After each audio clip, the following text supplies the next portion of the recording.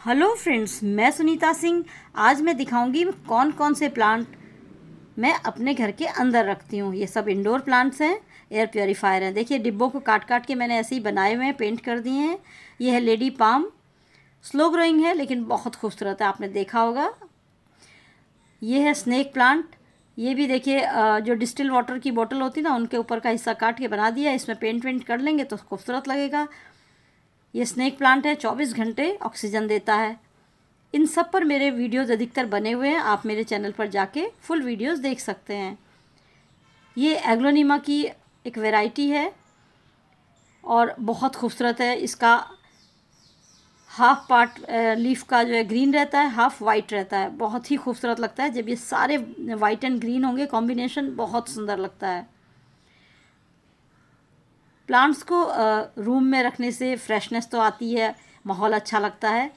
साथ ही एयर भी हमें प्योरीफाई होके मिलती है। ये देखिए, मनी प्लांट है और ये है हमारा सिंगोनियम।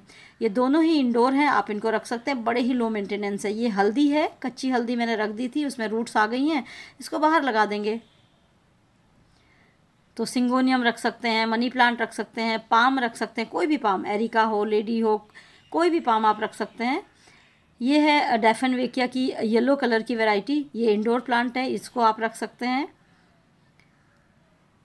अगर आपके पास कॉर्नर में बहुत जगह है तो आप ये भी रख सकते हैं। बहुत सुंदर ये प्लांट है। ये इसी की डेफन वेकिया की दूसरी वैरायटी है ग्रीन कलर की। लगता है ना, एकदम आर्टिफिशियल लेकिन ये रियल है।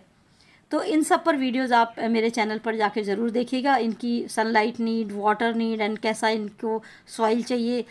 कितने दिन के बाद इनको बाहर रखना चाहिए, ये सब जानकारियाँ दी हुई है, लेकिन फिर भी बता दूँ, आप हफ़्ते दस दिन में इनको बाहर रख दिया कीजिए, फिर दो दिन के लिए तब फिर अंदर रख दिया कीजिए। तो ज़रूर बताइएगा मेरा ये वीडियो कैसा लगा। अच्छा लगा तो लाइक, शेयर एंड सब्सक्राइब करना बिल्कुल मत भूलिएगा। कमेंट्स आपको करनी है। Thank you so much for watching thank you